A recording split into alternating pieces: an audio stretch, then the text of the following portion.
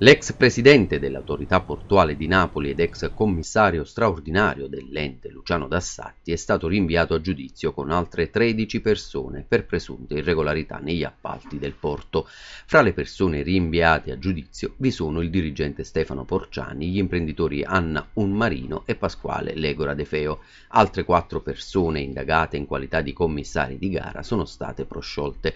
La decisione è stata presa dal GUP di Napoli Maria Vittoria Foschini al termine termine dell'udienza preliminare. Il processo comincerà il 30 dicembre prossimo.